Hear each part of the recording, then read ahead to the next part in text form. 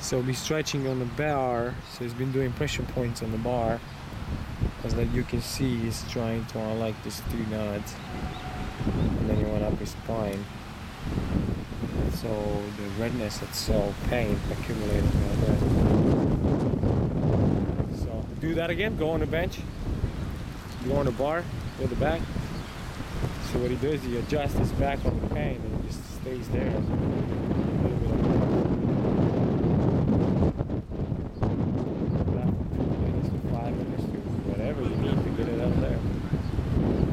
And it's kind of good to move up and down because sometimes stress shoots from here higher. And you want to go here, here, and there, and then go back there. You know, because it moves in a different spot.